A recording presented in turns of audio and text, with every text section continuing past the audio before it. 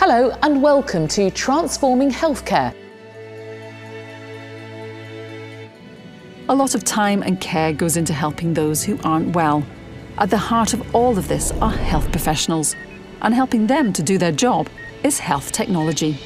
As an association, we're constantly looking to address the challenges that the industry faces. Technology has changed rather rapidly in the last 20 years, and of course, the regulations have had to move to keep up with those developments.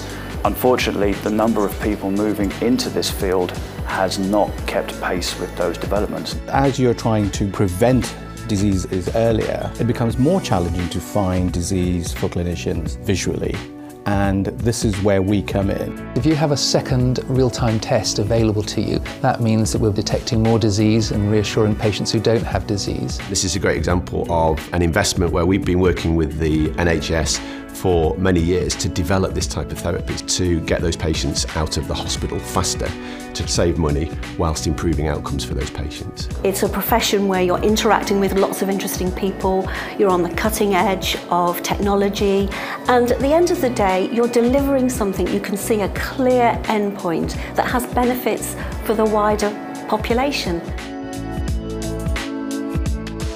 I'm absolutely certain I got better quicker due to the fact that I was able to self care and go home.